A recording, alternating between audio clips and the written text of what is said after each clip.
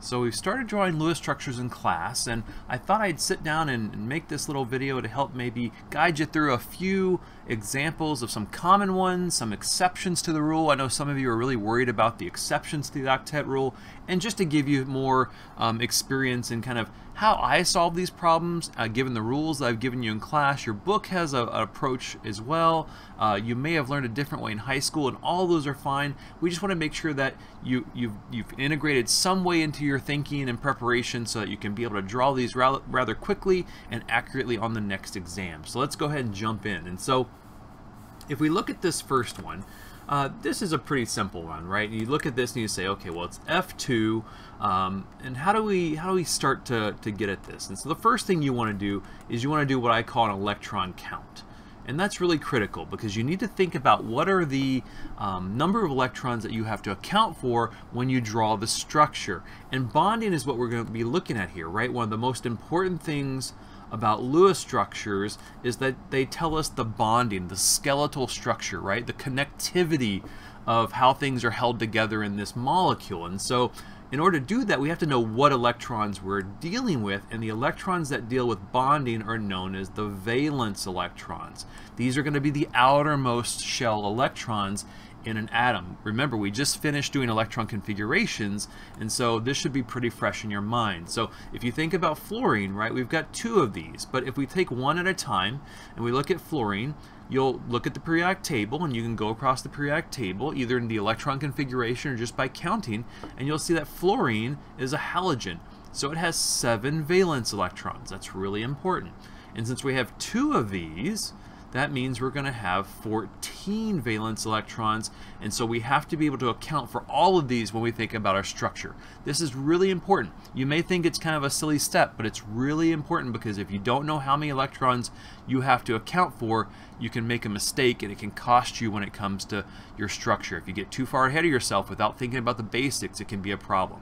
The other thing if you look at kind of the rules I gave you, you look at this compound, this is, um, fluorine's clearly a nonmetal, and so if you go back to our old skill set, this is going to be what we call a covalent, or if you'd rather call it a molecular compound, right? So this is really important. You've got to be able to know the difference between molecular and ionic because it's really going to be um, quite significant as we look at these problems. So let's think about this. So we've got 14 electrons, and so the next thing I want to do is I want to look at this and say, okay, um, I've got two fluorines, and so it makes sense that in order to form this compound, right, they have to at least be bound to each other or else it would fall apart and it wouldn't exist, right? You have to have at least one bond that's going to hold this thing together. And again, you have to remember that when we draw this line, this line, right? This is critical. This line equals a covalent bond, right? That's the sharing of how many? Right, two electrons. You've got to remember that. So if we've got 14 minus 2 for this one bond, that means we've got 12 electrons left over. And so now if you look at the rules, or if you kind of just internalize it, or the way I do it, you say, okay, I've got two electrons, I've got 12, I need to go and give each atom a full octet. And so if we look at this fluorine on the left here, we see that it is sharing two electrons in that bond. So in order to get an octet, we have to add one, two, three, four, five, six. And now if you look at this, boom, this fluorine has an octet. And so if we use those six electrons, we have six left, and it's probably pretty obvious to you at this point, uh, if, if due to nothing else but symmetry, we've got six electrons that have to go over here and now we've got two four six. We also count the two that are shared. So that removes the last six and now we've accounted for all of those electrons and we've got this really nice diatomic fluorine that is bound with a single bond. And remember this is really important. We call this bond here. This is a bonding pair right? That's bonding pair. And then we've got boom we've got one we've got two We've got three. We've got four. We've got uh, five. And we've got six. And these are not doing anything, at least in this model. And so we call these the non-bonding, right? The non-bonding electrons. And what's another word for non-bonding? Sometimes we call these lone pair electrons. And that's really important. So we've got one set of bonding, one pair, right? Because that line, right? Remember, I'm going to say it one more time. That line equals two shared electrons, right? That's really important. You've got to remember that. And so there you go. We've got single bond, two fluorines, 14 electrons, full credit. So let's go on to something a little bit more challenging, shall we? Okay, so we got some H2S here. And H2S, uh, you might think it's going to be a little bit crazy, but we're going to say approach it the same way. So you look on the periodic table and you see sulfur and you count from left to right to figure out how many valence electrons you have for sulfur, and that's going to be six. And you'll notice sulfur is in the same column as oxygen, which often has, um, you know, they have the same, very similar chemistry at times, right? So that whole column will have six valence electrons. And then hydrogen, you should remember, hydrogen only has one valence electron, but we have two of them, so that's going to give us a total of eight electrons. Really important that you do that. I, I, can't stress this enough. I know you may get confident, you may think you're like, you know, the chemistry chat or whatever, but you gotta you gotta cover your bases. You gotta get this right. So let's go ahead and think about this. Well, I'm to look at this and say the sulfur's got to be in the middle. Hydrogen is never in the middle for anything we're to do because hydrogen can never form more than one bond uh, for most examples that we're to ever see. And so we're to put that sulfur in the middle. But remember, we're going to have to at least connect it to the hydrogens in some way or it's going to fall apart. So we're going to put a single bond here. And I should back up a little bit and make sure we remember that this is going to be a molecular, right? This is a molecular compound or a covalent compound. It's not ionic. So we're going to say this is molecular. And if it's molecular, that means it's okay to use covalent bonds to share electrons. Really important. So if I've drawn two here to connect it, I've now got to remove those from my total, and that only gives me four electrons left. And so then we're going to go around the outside to give everybody an octet, but very quickly you should remember, right, hydrogen's a little bit weird. It's really, really small. Its electrons only occupy that 1s orbital, and so in this case, we don't have to put any electrons here because hydrogen is perfectly happy sharing the two electrons in that bond, and so it has what we call a duet. Hydrogen does not need an octet, so it's perfectly happy with just two, count them two electrons shared with the sulfur. Same thing with the hydrogen on the other side. But when we get to the middle, sulfur is going to be different, right? Sulfur is a bigger atom. It's going to want that octet rule. And so we have one, two, three, four electrons bound up in those bonding pairs. So sulfur can claim all four. And we've got four electrons. If all the hydrogens are happy, now we take those remaining four and we're going to put them on the sulfur.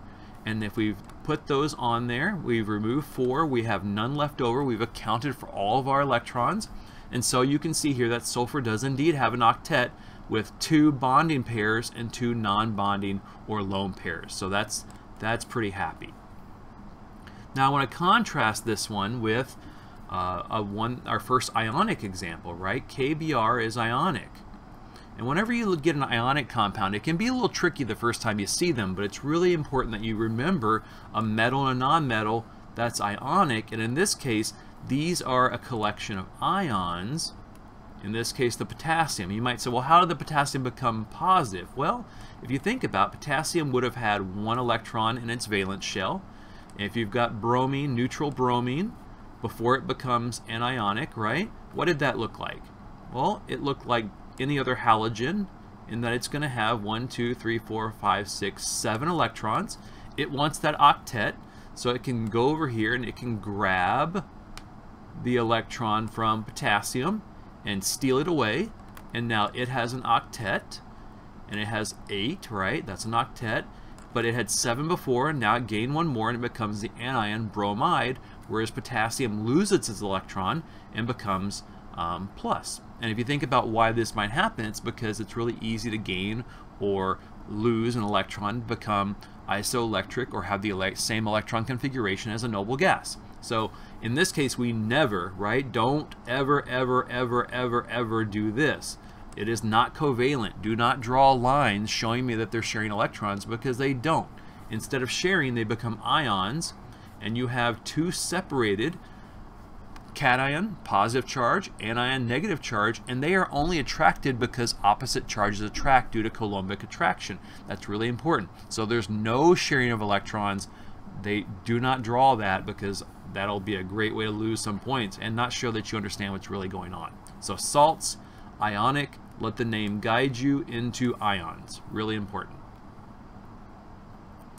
Now, We can have salts, however, that contain polyatomic ions, and this is nothing new for us. So this is ionic, this is a salt, and at first you may be confused because you don't see a metal, but remember that NH4, right, NH4 plus is one of those polyatomic ions that you needed to remember way back in exam 1. And its counter ion then is chloride. And chloride, of course, had seven electrons, but it stole an electron and became negatively charged. And so it looks to me like chloride is done for us. However, when we look at ammonium, that is a polyatomic, right? I'm going to write this one more time. This is a polyatomic, right? These you should know by now. And this is actually, if you look at just this ion, this ion by itself is made of shared covalent bonds. And so we can approach this individual ion as a separate problem. And this is how you break down these more complicated salt examples. And so if we do this, if we look at NH4 plus, which is really important, we're going to say nitrogen, right? If you look at the valence electrons of nitrogen, you look at the periodic table and you count over, it's going to have five. And then each hydrogen is going to bring one, and there's four of those, right? So you can look at it that way. And then finally, you have to account for the positive charge, which means you're going to remove one, right? Because positive means it's missing one of its electrons, and you could say, well, where did that electron go?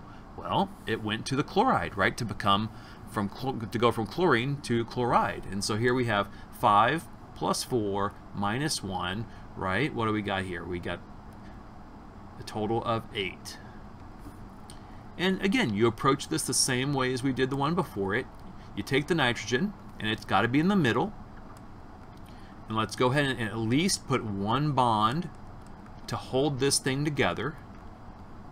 And if you look at that, you say each of those bonding pairs, a bond here, bond here, bond here, bond here, each of those is two electrons, right? You got to remember that a line equals two electrons that are being shared. And if that's the case, two electrons and we have four of those, four pairs, well, that's eight electrons. Boom, we're out of electrons. And that's okay because if we go around, the hydrogens are perfectly stable, perfectly happy having that single line with the two electrons being shared and then we're good. We don't have to put anything else. And then if we double check, we can see the nitrogen here has one, two, three, four bonding pairs. So it can basically claim all four bonds, right? Which means it's claiming eight electrons, which gives the nitrogen an octet. And then remember that this thing is charged, so we need to go ahead and put a positive charge on this to show us that this is indeed an ion. But the cool thing about this is now, instead of just memorizing uh, the formula, we can actually look at the bonding of what these polyatomic um, ions actually look like, which is really quite important. Later on in the class, we'll talk about, well, where does this positive charge actually live? Is it here or here or here? Who knows, right? It's, it's probably located on the nitrogen, but we'll talk more about that later. All right, so we've got this um, sodium chlorate, and again, right away we see a metal and a non-metal, so we say that's ionic. And we're going to say, okay, in this case, the sodium is a plus, so that's our cation, and we don't have to worry much about that. That one's done. But we do have to worry about this chlorate. This chlorate is an anion, and if you think about it by itself, it is a collection of atoms that are bound with covalent bonds. So it itself has covalent bonds, and we need to draw this out. So if you think about chlorine, that has seven electrons, seven valence electrons rather, and then each oxygen has six, but we've got three of them. And then remember, we've got this anionic charge, so that's a plus one. That's an excess electron, so we got to add that one. So we've got what? We've got 18 plus 8. That gives us 26 if I can count today. And there you go. So this might seem a little scary at first because there's a lot of electrons here, but it's not that bad. Let's go ahead and dive in. So this one's going to be a little bit weird, but if you think about it, that chlorine kind of looks like it's the odd one out, so we're going to make that the center one, and we're going to put an oxygen around here, an oxygen around here, and an oxygen over here. And remember, we're going to draw that initial bond because we have to have something to at least hold it together, because otherwise it wouldn't even form a compound, or it wouldn't even form an ion, right? It's going to it's going to have one, two, three bonding pairs to just give it some basic integrity. And by doing that, we used up one, two, three, four, five, six electrons. We need to subtract that from our total. We've got 20 left. And the rules I gave you said to go around the outside, all M&M style, right? So you go around the outside and you get one, two, three, four, five, six. There's six electrons. These are non-bonding pairs, lone pairs, added to this one bonding pair. So this oxygen now can claim eight electrons and you're all good. This one does the same thing. We've got one, two, three, four, five, six. We can count this bonding pair as the seventh and eighth. So this oxygen is pretty stable with an octet. And then the same thing down here on the bottom. We got six extras, counting those two in the in the bond, and, and we're good there. So all the oxygens, I hope will agree, have an octet. And in doing that, we used 6, 12, 18. We need to subtract those out, and we have two left. And of course, I think you're already ahead of me. Now we focus on the central atom, and we look at this chlorine. It has 1, 2, 3, 4, 5, 6. So it is really, really happy to get those extra two.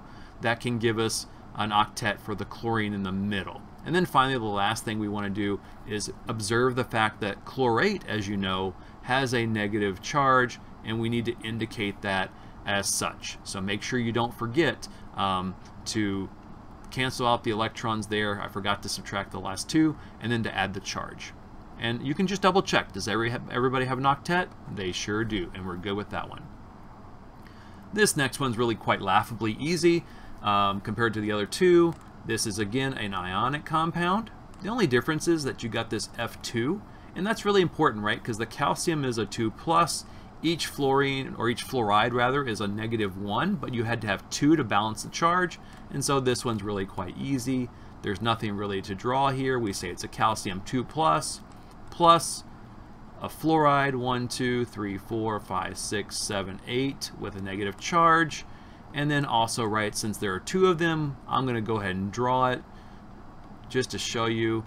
Um, there you go. So we've got a salt, and this one's really simple. You've got one calcium and two fluorides, but again, you'll notice do not connect, right? Some of you might be tempted to get in a hurry and start doing all this mess, which is just utter madness.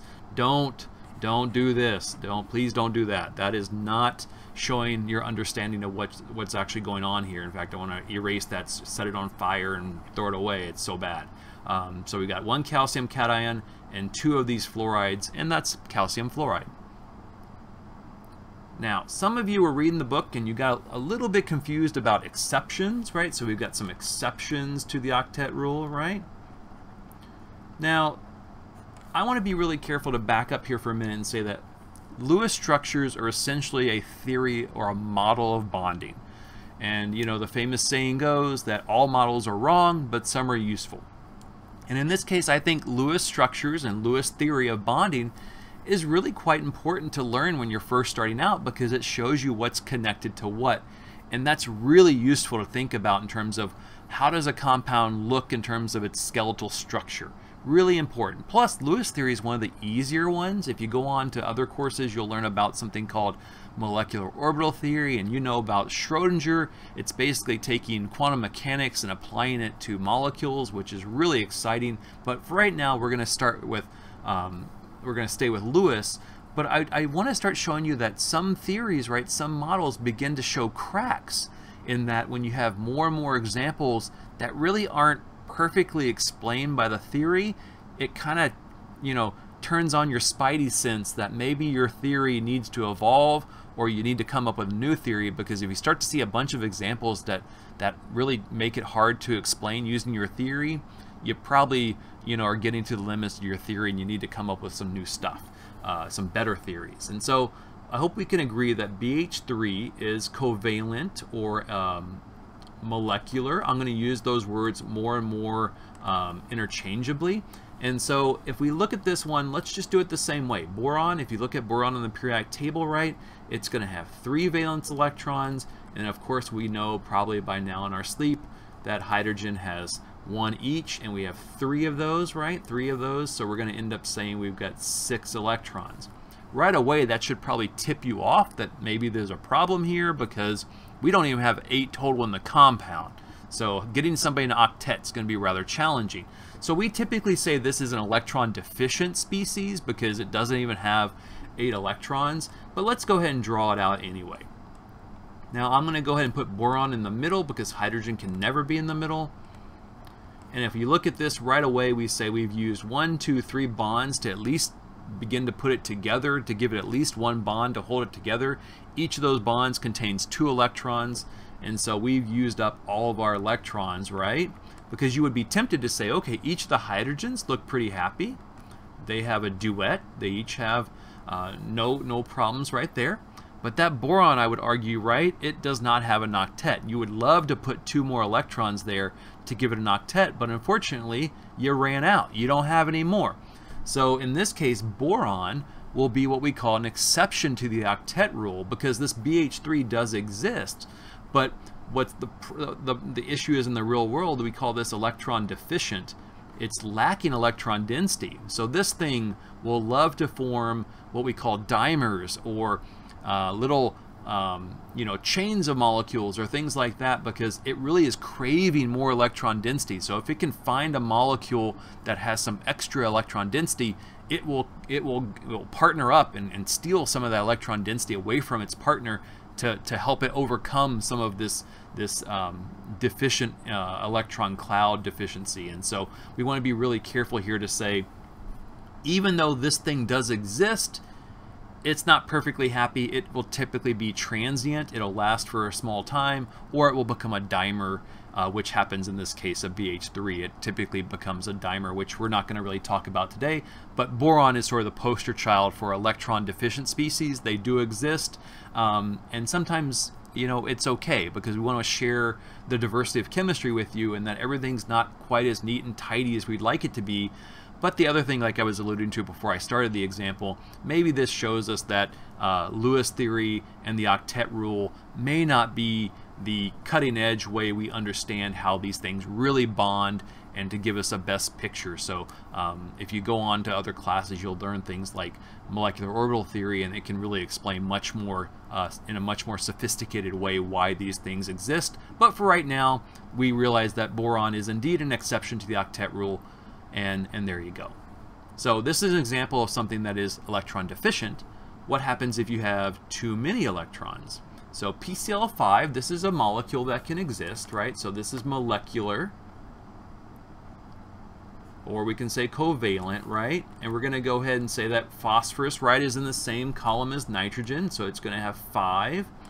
And then, oh my goodness, uh, right? Chlorine has 7, and we have 5 of those. So, oh my goodness, isn't that like 35? And so we're going to have 40 electrons.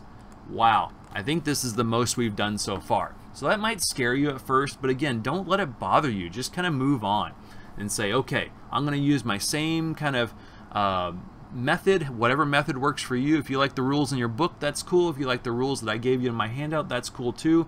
But don't let these bigger numbers scare you. Just go ahead and say, okay, in this case, phosphorus is going to be in the middle and I've got to go ahead and connect these chlorines somehow. So I'm going to say I have to at least put a single bond in there, and that's really important. And so I've got one, two, three, four, five bonding pairs. So 5 times 5, right, is 10, or sorry, uh, 5 times 2, excuse me, is 10, and I have 30 left. That's 30 electrons. And so now I'm going to use the exact same uh, procedure I've done before. I'm going to go around the outside, around the horn, and give each chlorine an octet. If it already has two, I only have to add six. So one, two, three, four, five, six. That gives this chlorine an octet. These are all the same, so I can just kind of save some time and go around. I've given that one an octet. I'm going to give this one an octet. I'm going to give this one, it's like Oprah, you get an octet, you get an octet, you get an octet, all this crazy stuff, right? So how many electrons did I use? I had five chlorines, I gave each six, even I can do that, so that is all my electrons. And so boom, look at that.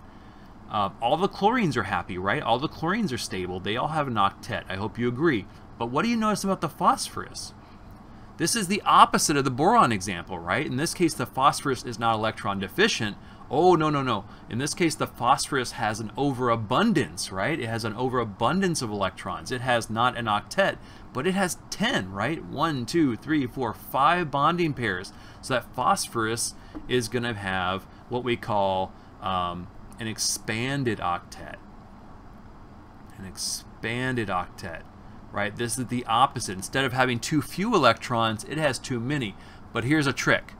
Phosphorus, if you look on the periodic table, phosphorus is one of the it's it's not in the first row right? Nitrogen's right there in the first row. And the, if you go down the and we'll talk about this later in the course the further you go down the bigger the orbitals are the bigger the atom is. And so in that case you can accommodate more electrons because you're bigger. You can spread them out those minimize those repulsions and so in this case bigger elements like phosphorus or xenon or iodine you see this with like arsenic and all kinds of big elements. Uh, they can accommodate more than octet uh, for a variety of reasons. But again, I would I would kind of again begin to give you a little bit of a spoiler that we're starting to see that Lewis theory is one of the first theories to come up uh, in terms of the historical development of how we understand bonding. But the problem with that is it doesn't have all the nuance of like Schrodinger's equations and quantum mechanics that can explain these things in more detail. And so if you want to learn more about that, take the next course and you'll you'll really get the full answer. But for right now, know that this is what we call an expanded octet for big elements. If you get more than 8 electrons, it's okay for these exceptions. All right, and then here's a monster. Look at this one. Remember we talked about the noble gases and how they're they're really, you know, typically shy away from forming compounds because they're inherently stable, but that doesn't mean you can't force them to make compounds. Um, in this case, uh, you know, xenon uh, tetrafluoride is, is definitely a molecular compound, so let's go ahead and establish that. It's a molecular or covalent, however you want to call it. And so here we're going to say xenon, right, it brings 8 electrons to the table, and we've got 4 times 7, right? And so that's 28. So this one gives us, what, 36 electrons if I can count today? So we got 28, that looks right. Okay, so we're going to put the xenon in the middle, I think it's just to me noble gas compounds are pretty badass. It's if you're gonna you know uh, slap xenon hard enough to make it bond, man, that's that's that's that's some that's some crazy conditions. But um, if we look at this, we're gonna have to bond the fluor fluorine somehow, right? So let's go ahead and just start like we've done before. And again, I hope you're starting to see this pattern. You got to at least make a skeleton. Uh, you know, bond it somehow because it's got to be connected somehow. And so in this case, we've used one, two, three, four bonding pairs. So that means we've used up eight electrons. And if we take um, that, we're down to uh, 28, right? 36 minus 8 is 28. And so now we're going to do the same thing. We go around the outside and we're going to give each of the fluorines first an octet. And it takes six electrons, right? One, two, three lone pairs and one bonding pair. So that gives that fluorine eight because it's that bonding pair is shared, right? And then here we go. We've got this one has an octet now. And again, this is trivial. These are so easy because they're exactly the same. We give each one six, and then with that bonding pair, boom. So we've got six times uh, four, so that's 24 electrons we used, and there are four electrons left. And you might be a little confused and say, well, Dr. Porter, where are we going to put those? Because fluorines are all stable, they've got their octet. Well, fluorine's pretty small, so you're not going to really, you know, anything in that first row, you're really not going to expand the octet. You need something big like a phosphorus or a arsenic or an iodine or, oh, what's big? Well, xenon's pretty big. And so guess where we're putting those four electrons? Yeah, you guessed it. We're going to put those four electrons right smack dab in the center here on that xenon. So look at this. We've got one, two, three, four electrons bound up in the bonding pairs. And then we've got one, two, three, four. We got two electron, two lone pairs with four electrons.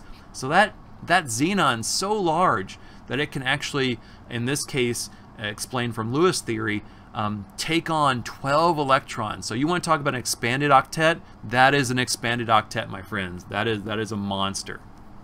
So again, another hyper um, you know, hypervalent or um, expanded octet example. Again, those three that we just did um, are exceptions to the octet rule. And I wanted to do them just to kind of give you some examples because they do exist. These are real compounds.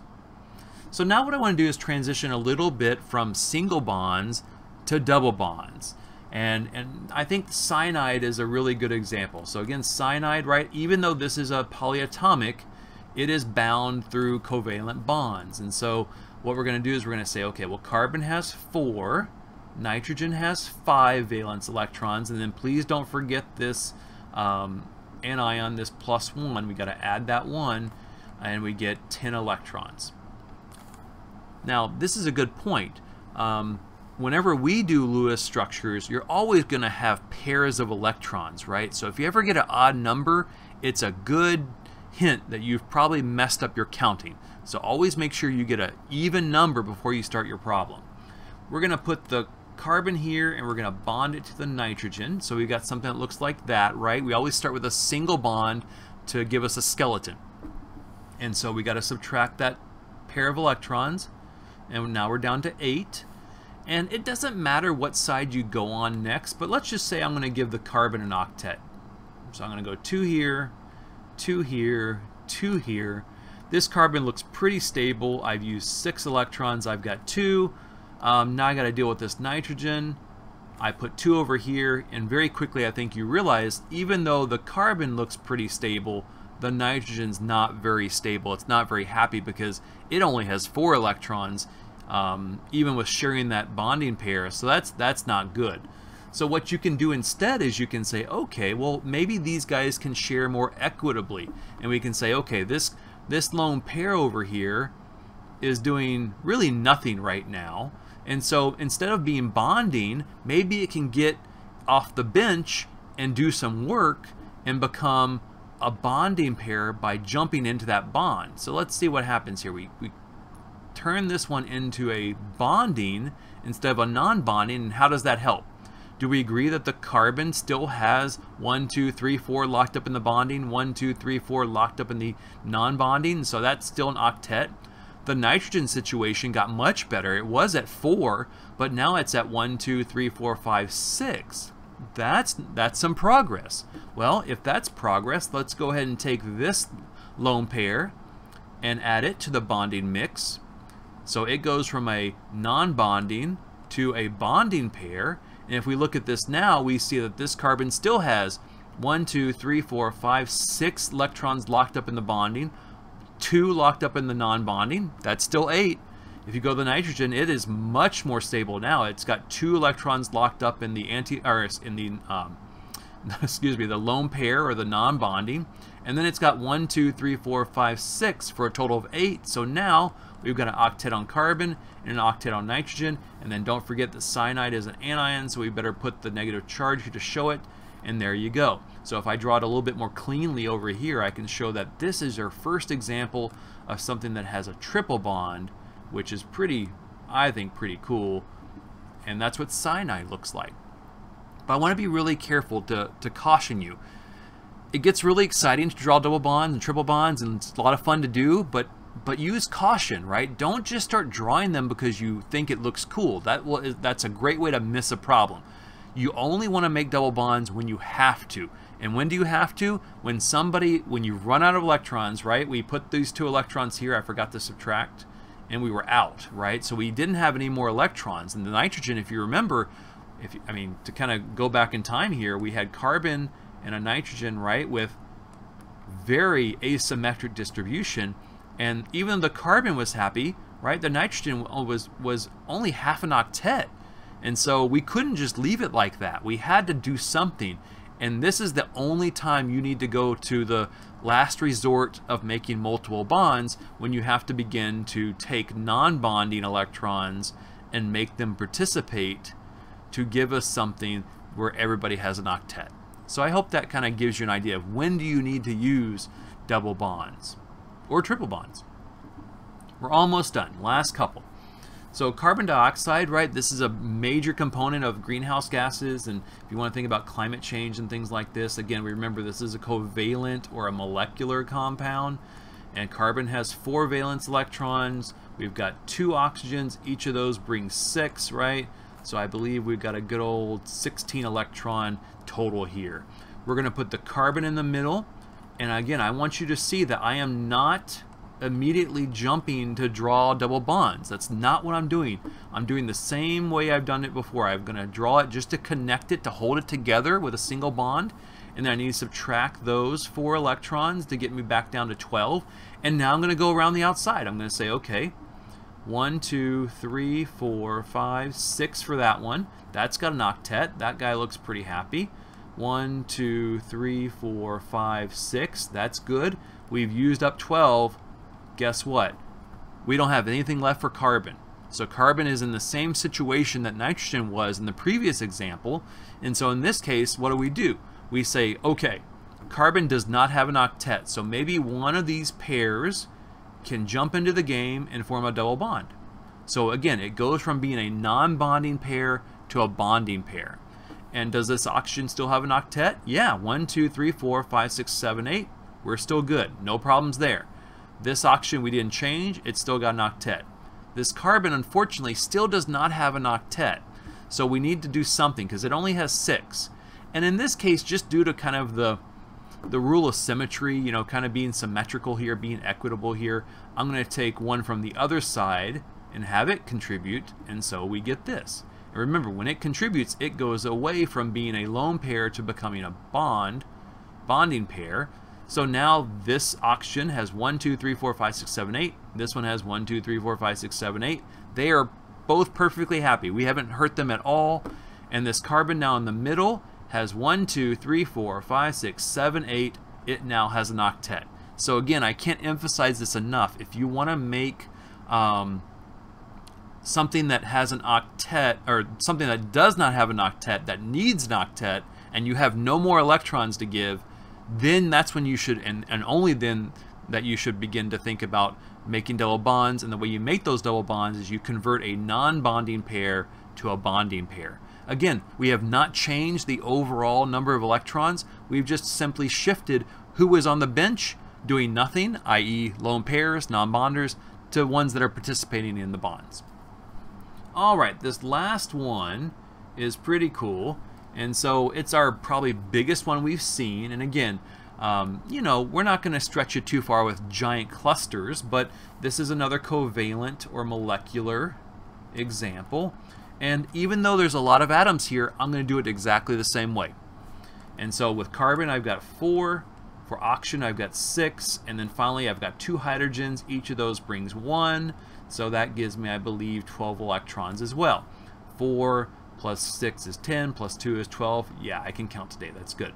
I'm going to put the carbon in the middle. And I'm going to connect everything with a single bond like I've been doing this whole video. And in this case, I've got one, two, three. That is three bonding pairs. That removes six electrons. That gives me six left. Again, we don't worry about the hydrogens, right? The hydrogens are perfectly happy with a duet. Do not ever put lone pairs on hydrogen or I will find you. Don't do that. It, it makes it makes my heart cry, cry just a little bit, so don't do that. So in case uh, we have extra extra electrons, which we do, where do they have to go? They need to go to this oxygen, right? Because oxygen definitely, as we did in the last example, it wants an octet, and the only way you're going to get that octet is by putting some non-bonding electrons there. We put six, and look what happens. Wasn't this exactly what happened before? Yeah, yeah. And so now we see the oxygen is happy, the hydrogen is happy, this hydrogen's happy, but this carbon is not stable, right? Because it only has six electrons. So what are we going to do? Exactly the same thing. In this case, we have carbon with no octet. It's, it's lacking an octet, but unfortunately, we don't have any extra electrons to give it. We've run out. So in this case, and in this case only, we're going to take one of these lone pairs, and we're going to get it off the bench, and we're going to make it bond. And when we do that, we remove it because we converted it from a lone pair to a bond. And now look what we have.